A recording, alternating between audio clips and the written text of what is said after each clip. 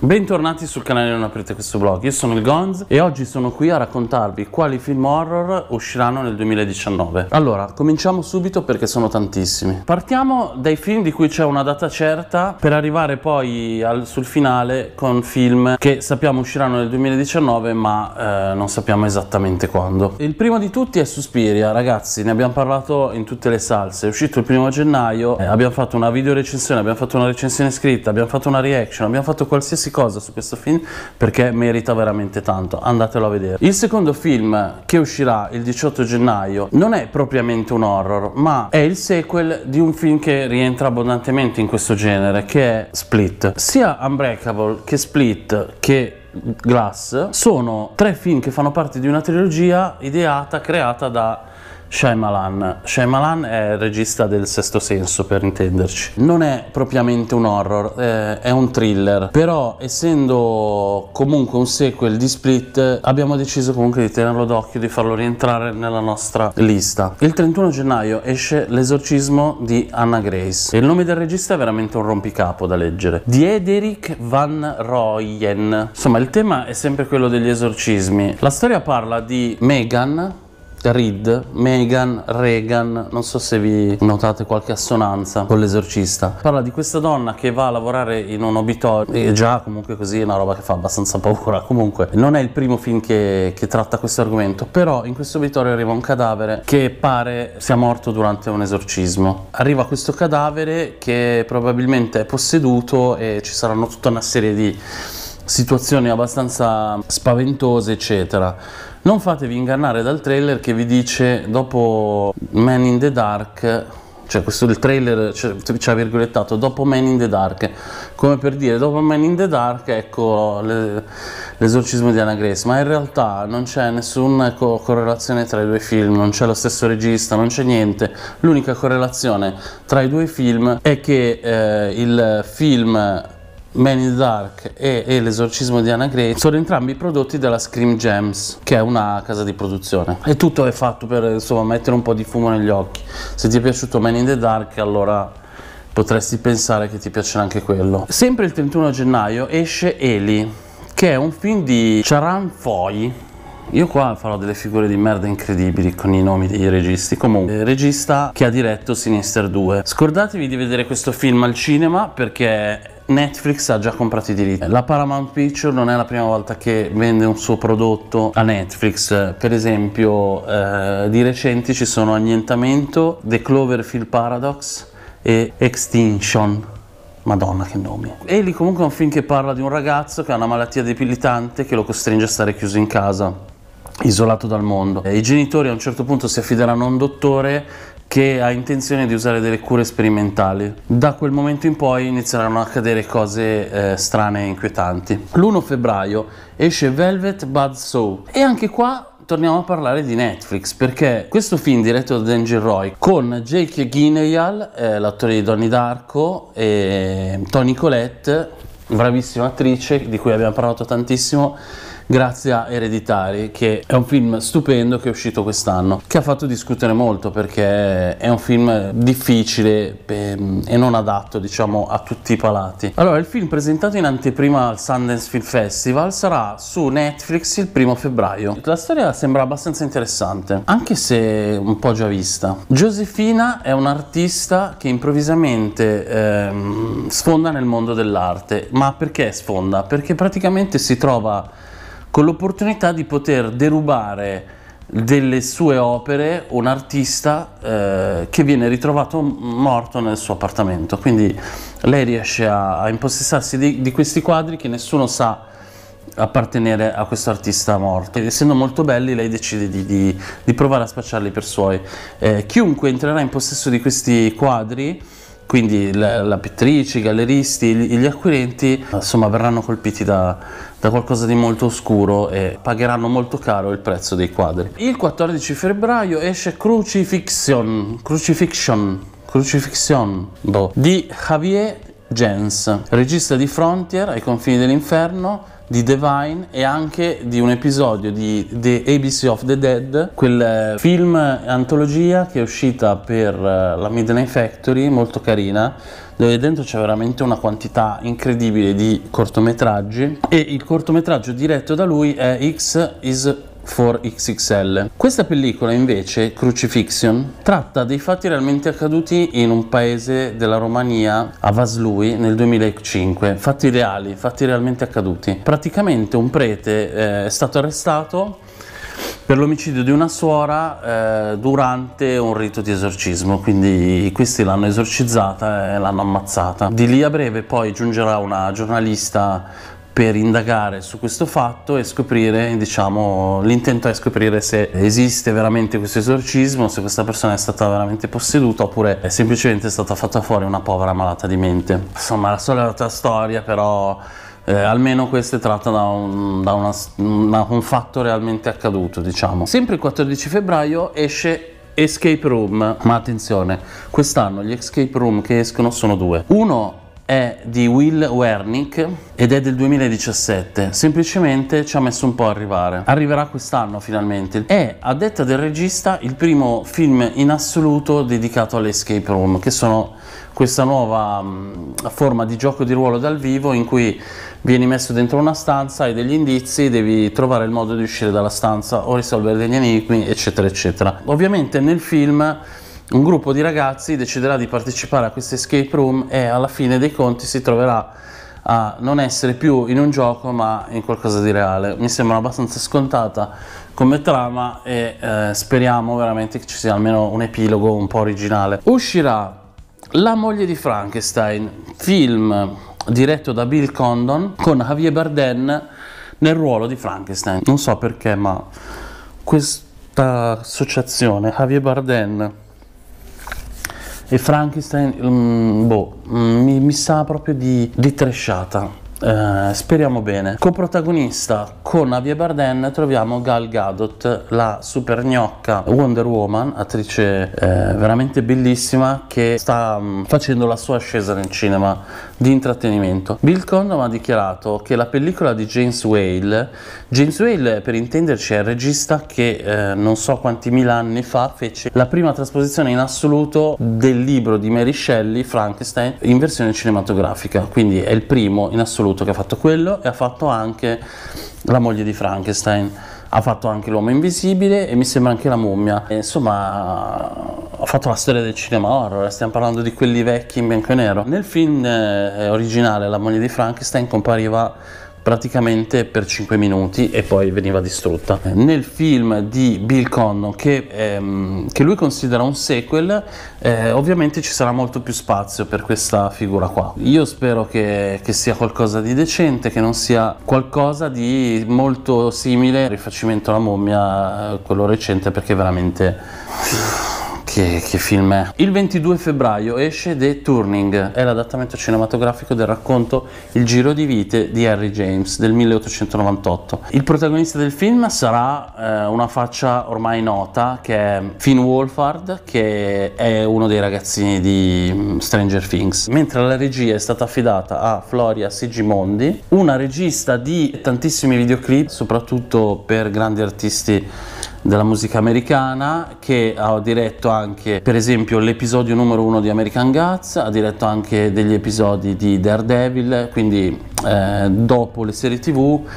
eh, si presenta sul, sul, grande schermo con questo lungometraggio. Eh, il film è comunque da tenere d'occhio, probabilmente anche lei, perché dietro comunque abbiamo Steven Spielberg, cioè il produttore esecutivo è Steven Spielberg e lui si sa che dove ci mette il naso le cose funzionano. Il 28 febbraio esce ancora Auguri per la tua morte. Farò una recensione di Auguri per la tua morte perché l'ho visto di recente e voglio parlarvene. Uscirà questo film e sono un po' dibattuto perché la simpatica Jessica Roth, che è trappolata in questo loop temporale in cui è costretta a rivivere lo stesso giorno e alla fine di questo giorno viene tutte le volte uccisa. Insomma, la trama sembrava esaurirsi con il primo il film, mentre invece qua è stato deciso di fare un altro film e la trama si ripete. E questa è una cosa, da un certo punto di vista una rottura di palle. Dall'altra è anche abbastanza ironico perché è un film che parla della, della, ripetizione e la trama si ripete, cioè nel senso che la trama è uguale al primo film.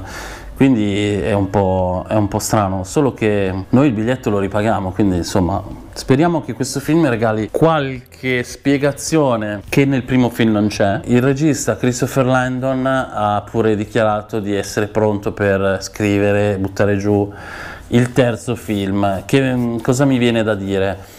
Non vi spoilerò niente se riguarda la recensione perché voglio che ve la guardiate, però se un regista fa un film che va bene eh, e se l'è scritto e se l'è girato da solo, diventa un franchise. E quindi questo finché c'è da mangiare magna e finché riesce a scriverci dei sequel ce li scrive andiamo al 14 marzo. Eccoci qui al secondo Escape Room il secondo. Questa volta il film non è vecchio del 2017 è stato appena concluso la regia è stata affidata a, ad Adam Robitel, regista di The Talking of Deborah Logan e Insidious l'ultima chiave, quello che è uscito da poco. La trama in teoria è uguale all'altra. La differenza è che in questa escape room eh, i giocatori non si conoscono fra loro, vengono invitati dai creatori dell'escape room e eh, c'è in palio un milione di dollari. Ovviamente anche qui tutto sembra un gioco e invece in realtà non è e la, la vita ovviamente delle povere vittime è in pericolo, dovranno riuscire a salvarsi. Eh, a quel punto del milione di dollari penso che non gliene freghi a nessuno quando sei costretto a salvarti le chiappe. Anche qui mi auspico che ci sia un finale mh, divertente che, che possa insomma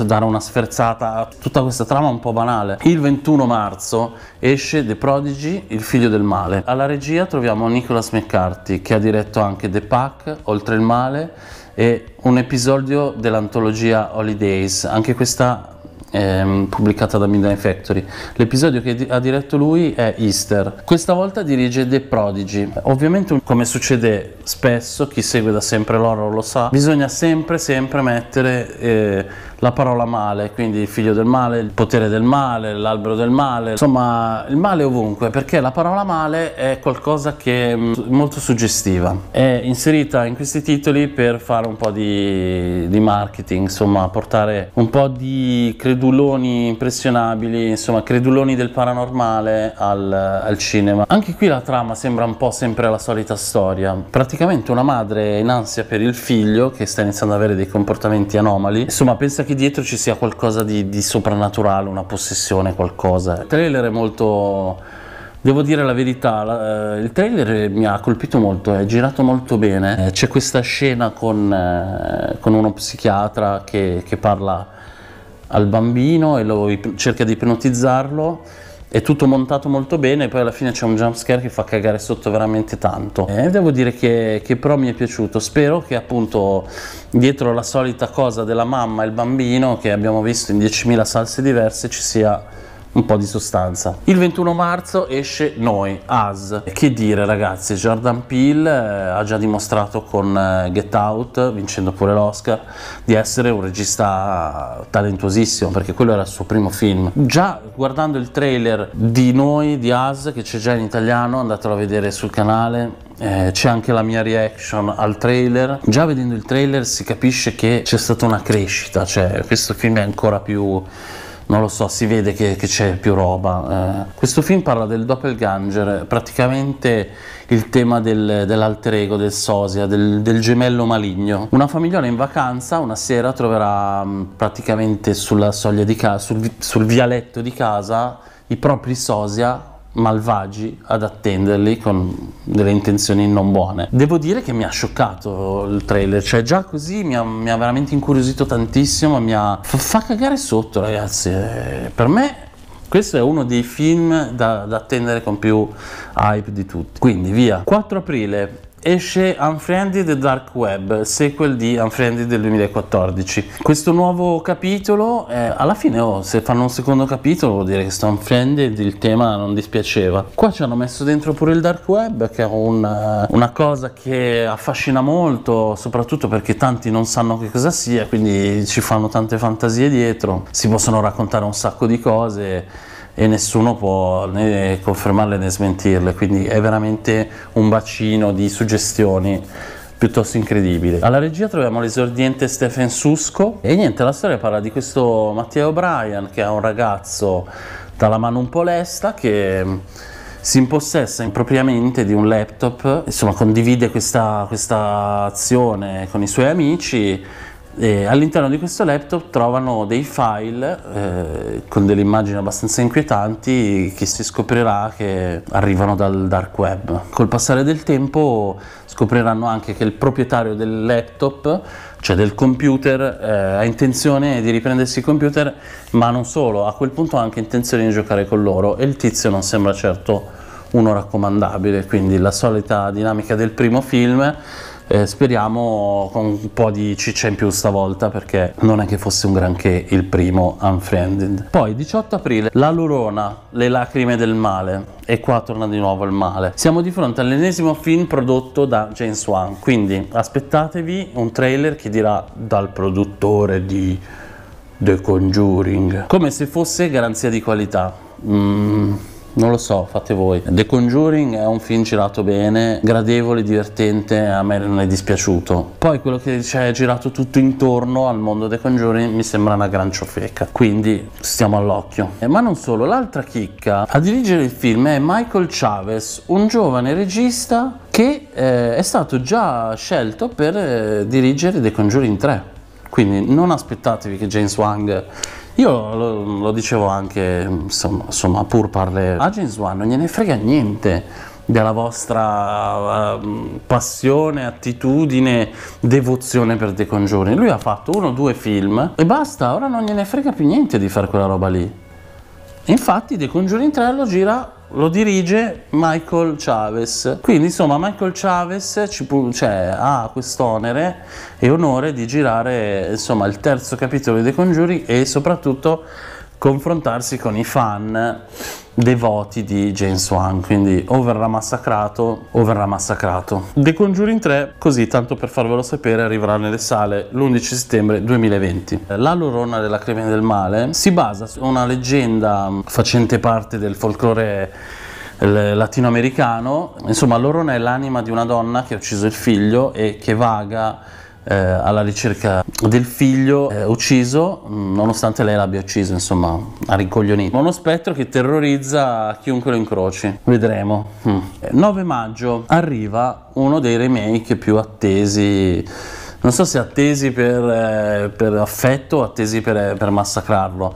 Pet Cemetery. Arriva un altro remake importante, Cimitero Vivente, un cult assoluto il primo eh, film fu diretto da Mary Lambert, tratto da, ecco, una cosa che sicuramente lo rende un film eh, con tutti i riflettori addosso è il fatto che, che sia insieme a Hit un altro film importante che è tratto da, da, un romanzo di Stephen King. Quando c'è di mezzo Stephen King, tutti i riflettori si accendono, tutti gli occhi sono puntati su questi film qua. Quindi Pet Cemetery, vedremo se ci deluderà. La regia è di Kevin Kolsch e Dennis Widmeyer. Insomma, dopo il rifacimento di East, un altro cult viene rifatto e vediamo se riuscirà a regalarci mm, delle gioie, come è successo con Suspiria, che è un remake di un cult fatto bene, oppure se sarà da, insomma, da cestinare. Entriamo un po' in una fase in cui vi segnalo dei film, non si ha la data certa, non si ha la data italiana,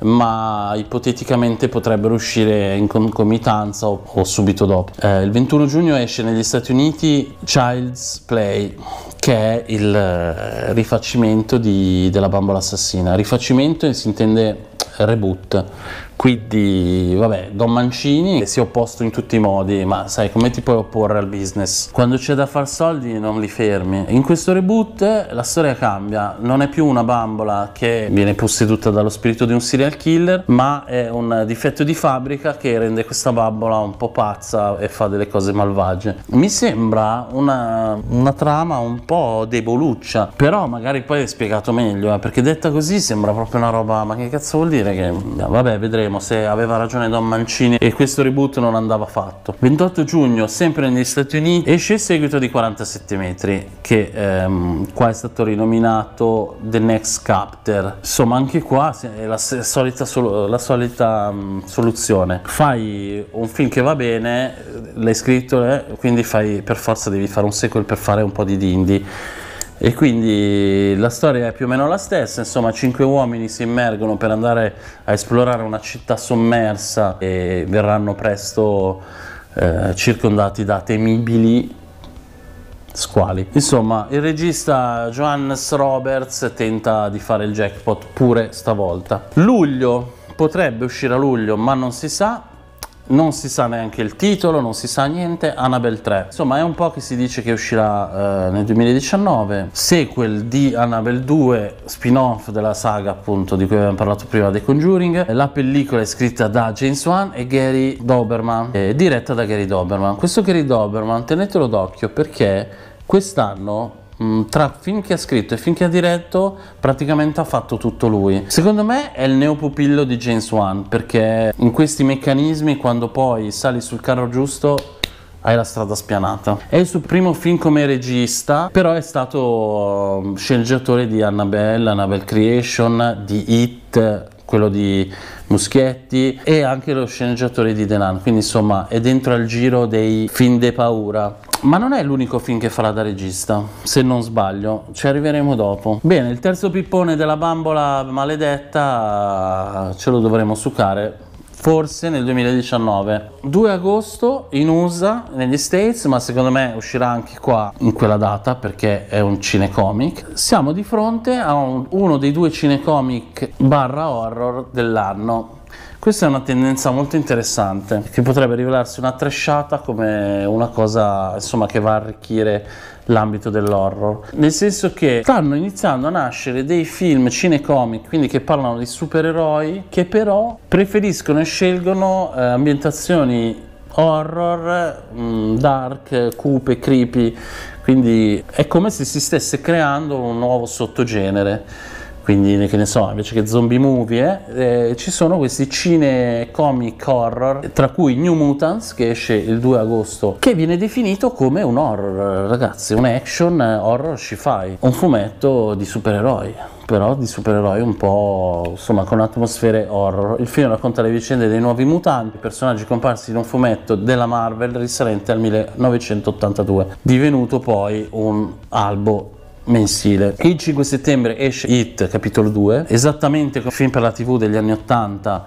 anche il film di Andrea Muschetti è diviso in due parti. Io sono curioso di vedere l'epilogo se soprattutto se riesce a essere un pochino più horror, perché il primo film è, ha delle cose interessanti, a me è comunque piaciuto molto il Pennywise, non vi dico il nome dell'attore perché è impossibile, mi è piaciuto perché comunque si è ritagliato un suo spazio iconico nel, nell'immaginario della gente, quindi mh, mm, è girato bene, tantissime, tantissime cose fatte molto bene, è un po' troppo fanservice forse con tutto questo anni 80 manetta così, però anni 80-70 però ecco è poco horror non fa tanta paura mentre invece la serie tv, con, anche quella con tutti i suoi difetti, era un pochino più... c'erano delle cose abbastanza inquietantelle. Quindi speriamo che il capitolo finale di Hit sia un'apoteosi di, di cose terrificanti, un po' più spaventoso. Il 4 ottobre esce La casa di Jack, l'attesissimo film di Lars von Trier. L'uscita è data il 4 ottobre in Repubblica Ceca. Io non ho trovato altre informazioni al riguardo, ma se esce in Repubblica Ceca il 4 ottobre, credo che uscirà anche in Italia il 4 ottobre o giù di lì. È una pellicola con il grandissimo Matt Dillon, un attore che ha avuto un momento di buio e poi dopo è tornato in auge e finalmente sta facendo dei film. Boh, magari è un po' inespressivo, però a me è un attore che piace perché mi sembra un po' pazzo e quindi per certi ruoli mi attrae come personaggio. Insomma, La casa di Jack è un film che, mm, che al Festival di Cannes ha fatto molto clamore perché pare che la gente sia stata male, sia svenuta per, le, per la forza estrema, la violenza estrema delle scene. Lars von Trier è sicuramente un regista, è un pugno nello stomaco anche quando non fa un horror, me lo ricordo veramente come un è, è disturbante lui, è, a me piace perché come dico sempre tutti i film che mi, che mi, prendono alla sprovvista, che non mi, insomma, non è che io non voglio essere coccolato dal cinema, io voglio essere preso a sberle dal cinema, non dalla gente. Lui ti prende a sberle anche con dei film drammatici. Questo addirittura è un horror thriller. Spero che veramente non arrivi troppo censurato con cose perché io voglio vedere proprio la follia di questo regista che pare anche essere uno veramente pesante sul set. Molti attori si sono trovati male e secondo me questa è una cosa che può anche essere interessante perché creare un clima eh, di disagio ma tenere le redini di tutto e riuscire comunque a portare a termine il film significa anche magari trasmettere delle emozioni negative che tu volevi che ci fossero nel film. Perché guardate che questo Lars von non è certo un cretino è uno che ha veramente rivoluzionato il cinema. Non vedo l'ora veramente questo qua non vedo l'ora di vederlo. Poi sul fatto che sia svenuto o meno la gente eh, non lo so, perché c'è gente che sviene per qualsiasi cosa, quindi va benissimo. Hype ai massimi livelli. Il 31 ottobre esce Hai paura del buio, è tratto dalla famosa serie tv eh, Are You Afraid of the Dark? È un adattamento cinematografico diretto, indovinate un po' da chi? Gary Doberman, quello di Annabelle 3. Il film avrà una storia originale, quindi non sarà eh, presa dalle le puntate della serie tv eh, ma ci saranno ovviamente tantissimi richiami alla serie tv perché se non facciamo le cose fanservice poi dopo ci linciano i fan no? allora a ottobre sempre negli States esce Benvenuti a Zombieland 2 gli sceneggiatori del fortunatissimo Benvenuti a Zombieland ovviamente non si fanno scappare l'occasione e fanno il seguito, scrivono il seguito e lo girano.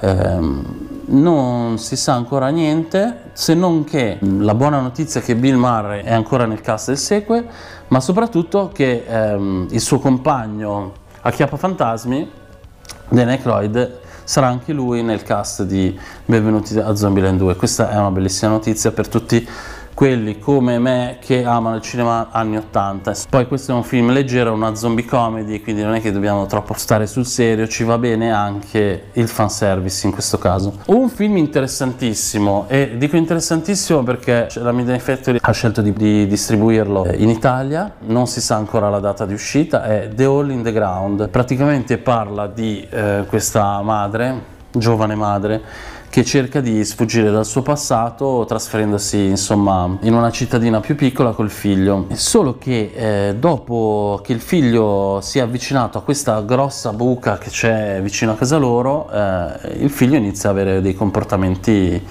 eh, insoliti. Ci sono delle dinamiche molto interessanti e il trailer mi ha incuriosito tantissimo. Quindi questo è il classico film dove non bisogna, secondo me c'è dietro veramente della roba interessante perché se no Midnight non l'avrebbe scelto. È sicuramente uno di quei film che bisogna cercare di non spoilerare di non venire a conoscenza di cosa c'è dietro eh, senza averlo visto. Quindi eh, sicuramente c'è qualche colpo di scena qualcosa di strafigo. È stato scritto e diretto da Lee Cornin arriverà negli Stati Uniti il primo marzo quindi boh non so da noi quando ma sicuramente entro l'anno. Sempre nel 2019 non si sa quando eh, uscirà Rabid Sete di Sangue. Sono concluse a dicembre le riprese di Rabid remake dell'iconico film di David Cronenberg del 1977 la pellicola è diretta da Jen e Silvia Soska, eh, le cosiddette Soska Sister, nell'ambiente sono conosciute così. Del film non, mh, mm, circolano solo due o tre immagini, di cui una è stata pubblicata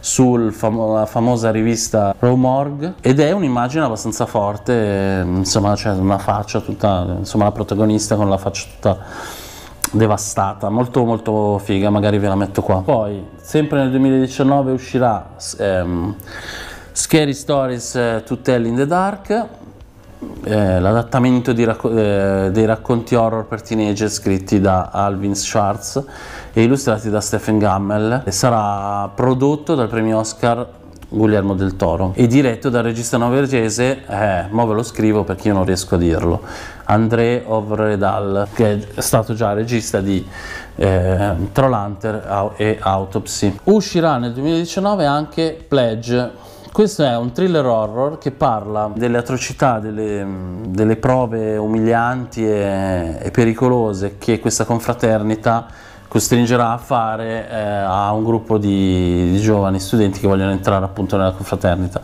quindi eh, è un po' una specie di torture porn. Insomma i ragazzi saranno costretti a fare delle cose che potrebbero addirittura farli morire. Quindi diretto da Daniel Robbins regista di Uncage Plage sarà distribuito oltreoceano dalla IFC Midnight l'11 gennaio 2019 quindi si suppone che arriverà abbastanza presto da noi. Vedremo. Adesso arriva un film che dovrebbe uscire finalmente nel 2019 che era stata annunciata l'uscita nell'agosto del 2017 poi posticipata a data da, de- da definire e poi non è mai più arrivato. Ma pare che prima o poi arriverà cioè quest'anno. Eh, le motivazioni dietro a questi ritardi si possono ricondurre alle accuse di molestie sessuali che ha insomma, nei confronti del produttore Harvey Weinstein. Insomma, ne avrete sentito parlare di questa storia e quindi immagino che per questa ragione ci sia stato un po' di difficoltà poi a distribuire il film. La pellicola è l'adattamento di un cortometraggio del regista norvegese Lars Klevberg. La storia è incentrata su una macchina fotografica, una Polaroid ovviamente, che una volta scattata la foto a una persona eh, si scateneranno forze sovrannaturali e maligne, insomma una macchina fotografica maledetta. Ovviamente le foto non potranno essere distrutte, se no eh, insomma eh, la persona ritratta subirà dei danni fisici. Vediamo se dentro a questo film c'è qualche cosa ingegnosa perché la Polaroid è sicuramente una macchina fotografica che ha fatto la storia iconica che ha un grande fascino e si possono fare dei giochi interessanti a livello di narrazione, quindi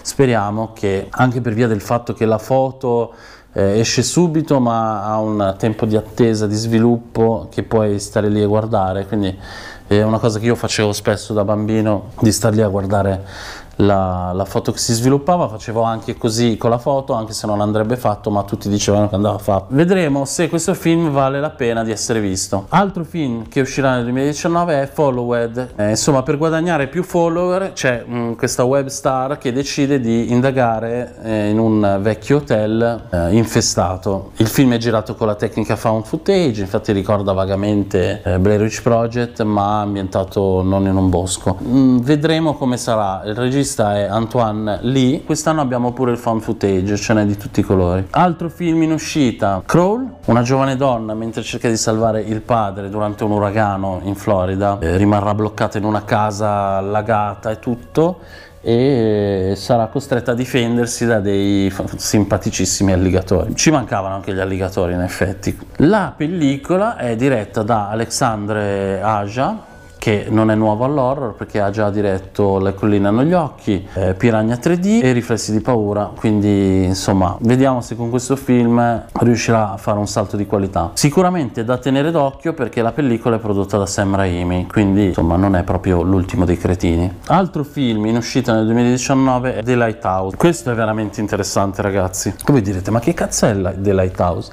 Sarà, è, è, è, è il nuovo film di Robert Edger, regista di The Witch, film controverso. Insomma, questo fantastico regista torna a deliziarci con un nuovo horror.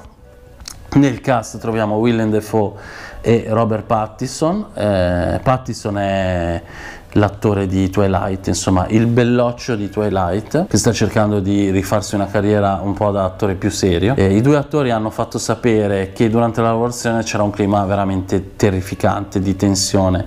Eh, Pattison ha addirittura dichiarato che eh, a un certo punto è andato vicinissimo a tirare un pugno al regista, eh, mentre Willem Defoe ha aggiunto che, che quando Pattinson e Defoe si sono trovati per girare le scene insieme, le, le scene erano così così dure, eh, così faticose, snervanti che non si sono quasi rivolti la parola eh, al di fuori del, del, set, cioè dopo le riprese, non si sono mai, insomma non hanno neanche avuto modo di, di, di instaurare un rapporto, talmente erano eh, sterma, stremati e snervati dal film. Insomma le premesse direi che sono buone, come dicevo anche prima, secondo me ci sono dei registi che fanno anche apposta a torturare gli attori in questo modo per tirare veramente fuori il top del eh, possibile da, dagli attori. È ambientato nella Nuova Scozia del 1890 e l'altra particolarità interessante e che è girato con pellicola in bianco e nero a 35 mm. Insomma,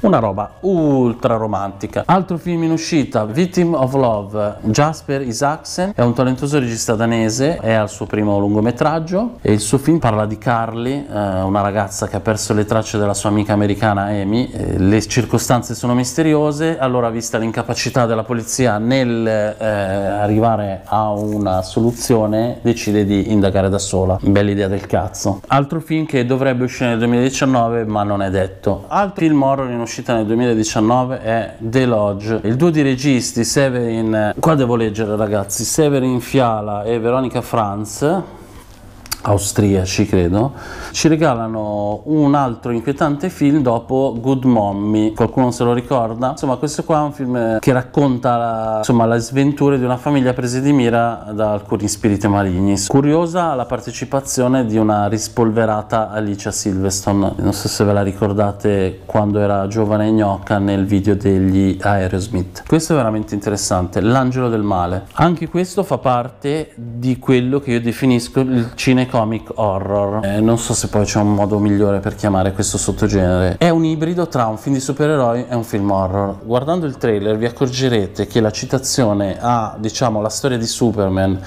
quindi Superman che arriva con un'astronave che precipita nei campi di questa famiglia che, di agricoltori che non hanno figli e quindi adottano Clark Kent e lo fanno diventare loro figlio, ecco è uguale, è uguale ed è fatto apposta secondo me per suscitare tutto questo immaginario. La differenza sta che questo bambino ha sì i poteri come Clark Kent e si vestirà sì come un supereroe, tra virgolette, nel senso che si costruirà lui un mantello di stracci, cose così, ma la differenza è che c'è qualcosa di maligno dentro di lui, qualcosa di spaventoso, quindi lui diventerà una specie di eh, villain, credo, almeno questo è quello che si intuisce. Il trailer mi ha veramente gasato. A dirigerlo troviamo David Jaroveschi, che è il neopupillo mm, di James Gunn.